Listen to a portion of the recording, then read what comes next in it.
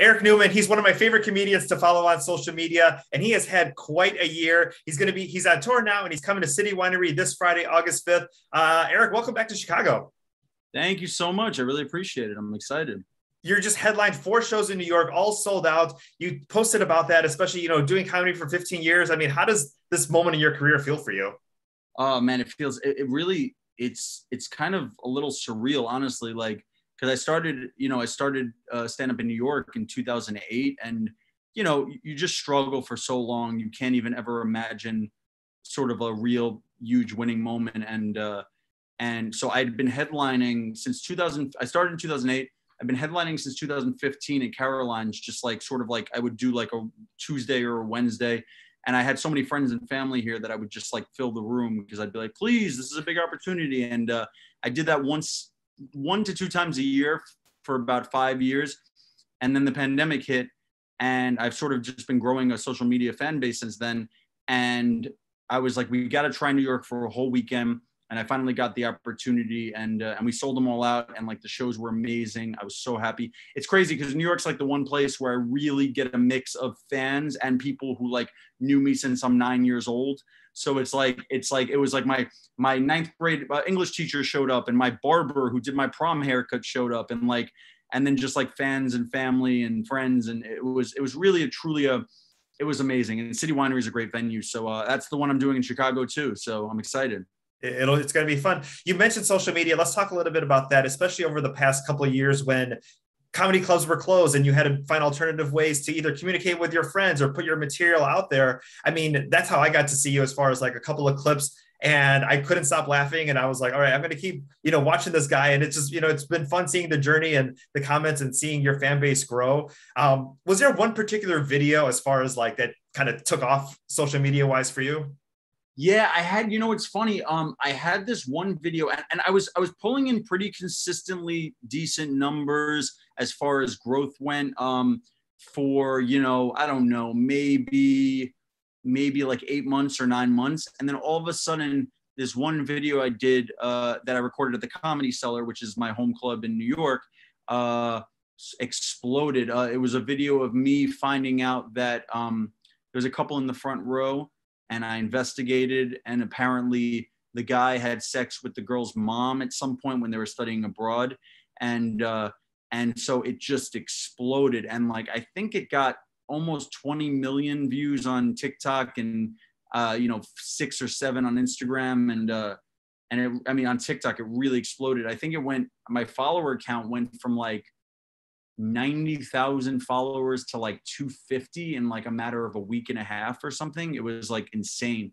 Um, and then there had been, you know, then there, I haven't quite hit a video that big since then, but there's definitely been a few that have been like really big videos that, you know, I've had a few, you know, in the, in the 4 million, 5 million range and, you know, stuff like that. But, um, that one really, really cha- sort of changed the trajectory of my career a little bit. Um, it was very strange because we, we see the video we have the hot dad the woman who was there with the guy who was her intern the couple that was both pilots uh, the guy that was there with his trainer. Um, as far as like from a comedian standpoint like do you have these situations already like if this is what i'm going to see or are people constantly like surprising you like who shows up?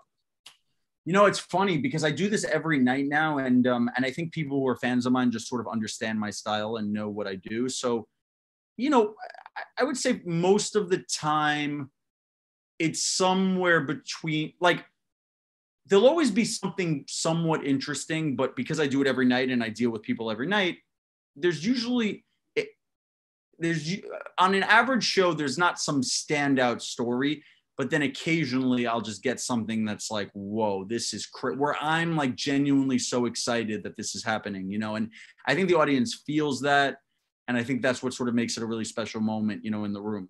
Oh, exactly. I mean, it wasn't one of your shows, but I had gone to a, a comedy show once, and the, the the person on stage just asked the person in the front row, like, you know, what, what's your job? And that person happened to work for Oprah, and that was 45 minutes of the show. It was like, tell me all these things, and it was all these like funny stories, but it was just crazy because like he had no idea who this person was, and it's like that can just change the whole trajectory.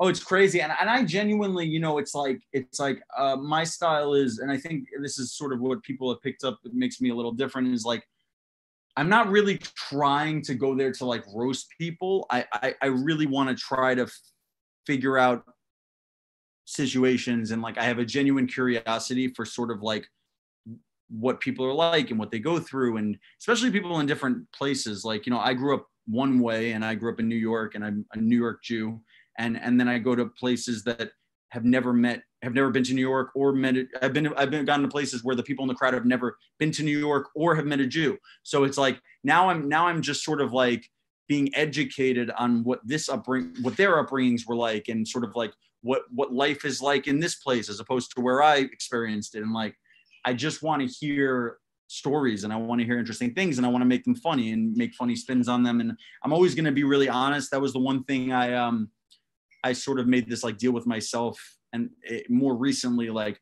you got to just be honest. And uh and so for better or worse I am I think. And uh and and so that's that's that sort of made it that sort of made it a little easier for me you know not having this um not not having these like uh um i guess rules or regulations on what i'm what i should be saying. Because i know you know me unfiltered it's still like i genuinely come from a place of like kindness and love and like i don't want to ever actually hurt like i get upset like if i accidentally hurt somebody's feelings in the crowd it actually makes me upset like i don't want anybody to feel bad so um, I think people give me a little bit of wiggle room as far as like the crazy shit I say because they know it's coming from a place, or hopefully they know it's coming from a place of love and and and just just just trying to make situations funny. You know? Are you are you finding that people are trying to sit in the, in the front to maybe you know kind of create that situation, or you or is it almost like school where you don't want to be picked on and people are kind of going towards like the back, or what are you finding as far as like your shows now?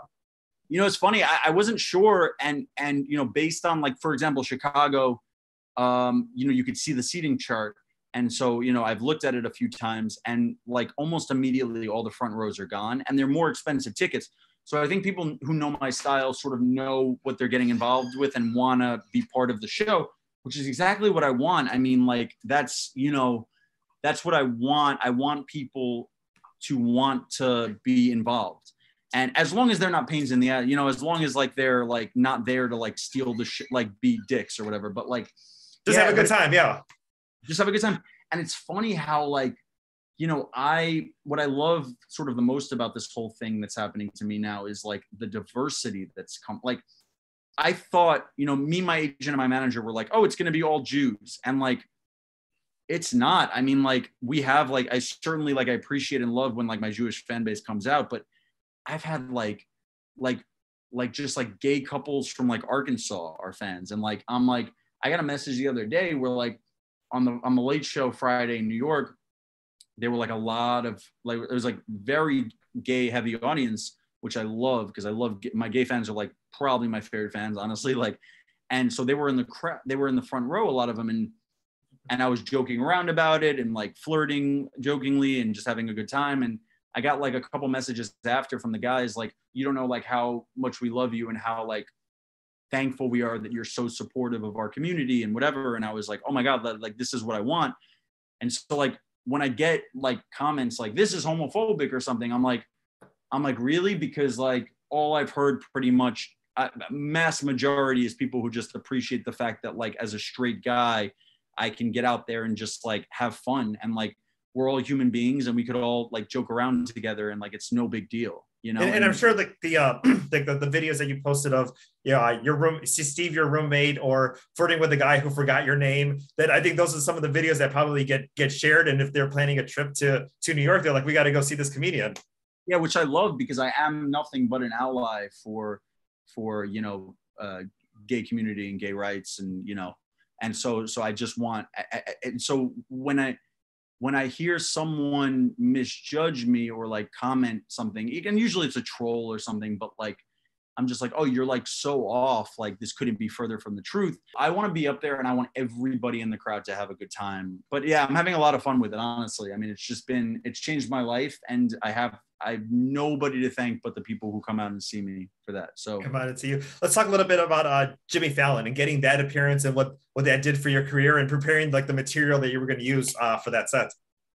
Um, it was amazing. I, I, it was definitely the moment of my, I mean, if I had to like, I guess pinpoint one moment that was really special, it was probably either getting passed to the comedy cellar or that, but that was t- my first TV appearance doing stand up on TV. So like I can't I can't not remember that. Um, it was a long time. You know, in my eyes, I've been working for it for years. I've been training for it for 15 years, and when I finally got the opportunity, I was like, holy shit, like it's happening. And uh, and and yeah, I wasn't really that nervous about it. And obviously, like there's you know the stakes, you know what they are, but I didn't let any of the negative emotions get to me. I said like this is too big to fail. Like we have to. There's no other choice. We have to kill this and uh, I feel like we did. And um, and yeah, now I'm working on other ones and other stuff, and uh, and it was great. I, I'm so appreciative. You know, the Booker Michael Cox, who is the first one to ever put me on TV for stand up, and I'll never forget that. So uh, I'm I'm very I'm very outward in my uh, appreciation for him and uh, and and people who give me opportunities like this. we look forward to, to more opportunities and then seeing you on on television. Uh, you've also posted photos and, and, videos of you know some of these bigger name comedians either at the Comedy Cellar or some of these other clubs. Um, has anybody has anyone surprised you as far as like being a, a, super fan of yours or maybe has seen you or I love your material or has checked you out that maybe you were you were surprised by?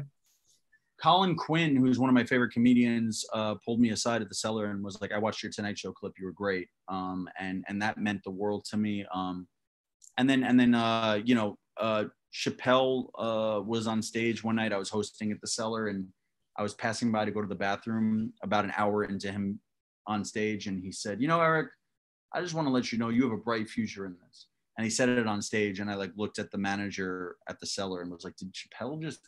compliment me on stage and she's like yeah he did i was like i'm literally to pass out um and and that's the cellar i mean the, the, you get to work with the best and you start realizing you know it kind of pulls the curtain a little open a little bit um as far as it's not this like unbelievable oh my god i'm a i'm around a celebrity anymore it becomes like no these are like my most gifted colleagues and and and the top of my of my colleagues you know but they are colleagues.